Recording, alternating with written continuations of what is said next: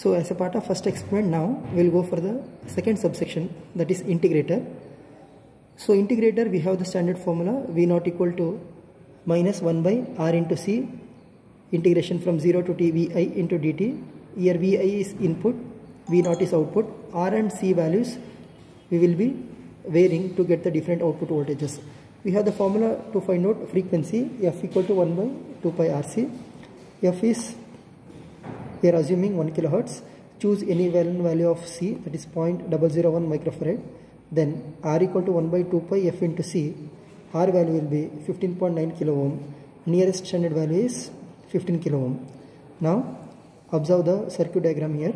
We have used op amp mu A741. Pin number 2 is inverting terminal. Pin number 3 is grounded that is non-inverting terminal.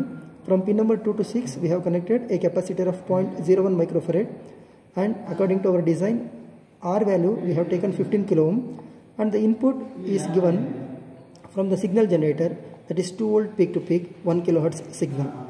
So for a input of square wave output should be triangular wave. In the same manner we have connected the circuit diagram here. So here we have used op amp and a 15 kilo ohm resistor 0.001 microfarad capacitor and the input from signal generator 2 volts 1 kilohertz. Pin number 3 is grounded and we are checking the output at pin number 6 so now if I observe the output it's channel number 1 for input square wave and the output is triangular wave. So wherever for the rising end of the square wave so we can see the falling edge of the triangular wave because in the formula we have seen V naught equal to minus 1 by RC. So for the complete one square wave, one triangular will be observed in the output waveform.